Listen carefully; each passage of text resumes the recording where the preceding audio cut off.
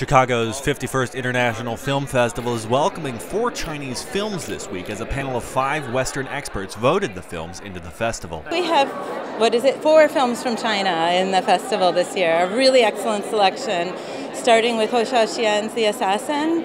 We also have Jia Zhangke's Mountains May Depart. So both of those played in the Cannes Film Festival, and we're thrilled to be. We've shown those director's work, you know, over 20 years now. I mean, with starting with Hou Hsiao-hsien, and he's won many awards. Out of 4,500 applicants, only 200 films were chosen. The four Chinese films transcended cultural barriers to appeal to American audiences. No matter where you're from, no matter what your nationality is, it's intriguing because it's still the same. it comes from the same core of uh, writing and acting and the choreography and the cinematography. No matter what it is, it's still the same principles of somebody's ideas and, and uh, imagination coming onto film.